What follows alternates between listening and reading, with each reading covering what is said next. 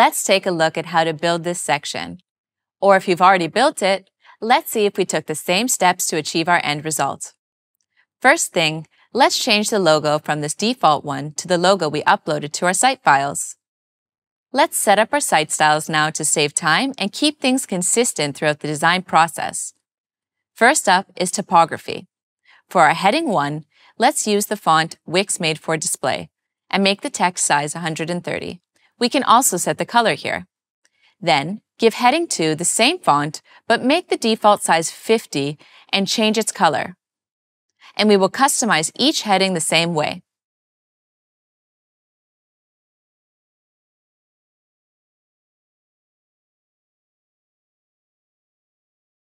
For paragraph 1, use that same font.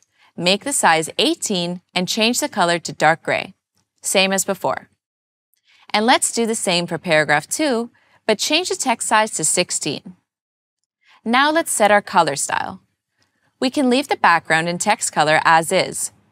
But let's set the action colors to gray by clicking on this pencil icon and entering a new hex code here. And now the entire range will be updated to match it. But we can choose more colors for our palette. Make these light purple, a darker purple, and turquoise. Now it's time to design this section itself. To add a bit more height here, we can just drag it like this. Now click on the section and give it a gradient background. Choose a linear gradient.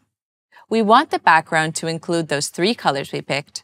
So first, we'll adjust the right one to the darker purple, the left one to the turquoise, and this last one to the lighter purple.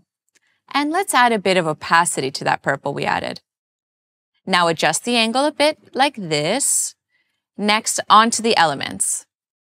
Drag a title from the Add panel onto the canvas. Then in the inspector, use the Heading 1 theme we set up. Change its text. Let's also adjust this bounding box so we'll have one word on each line and change the line spacing.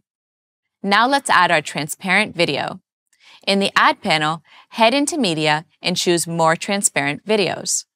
Search for Drone and choose this one. We can make it a bit bigger and place it here. If we wanted to rotate a bit, we can adjust the rotation here to 10 degrees. You can see that the bounding box of the transparent video is overflowing a bit outside the section. So make sure your entire page is set to Overflow Content Hide, which will prevent any unwanted scroll. The last thing we'll add to this section is that arrow icon. Let's drag that from our library onto the canvas and align it to the bottom center of our section.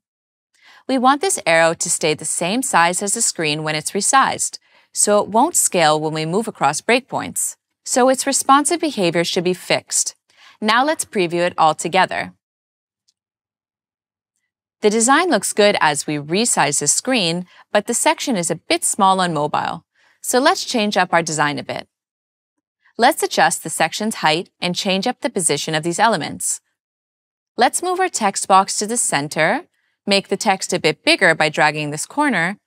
Align the text itself to the center. Move the arrow towards the bottom and position the drone underneath the title.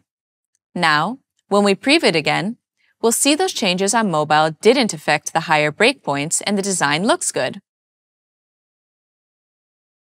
And that's it for your first challenge. In our next module, we'll cover some of the layout tools you can use to customize your pages even more, starting with positioning and docking. I'll meet you there.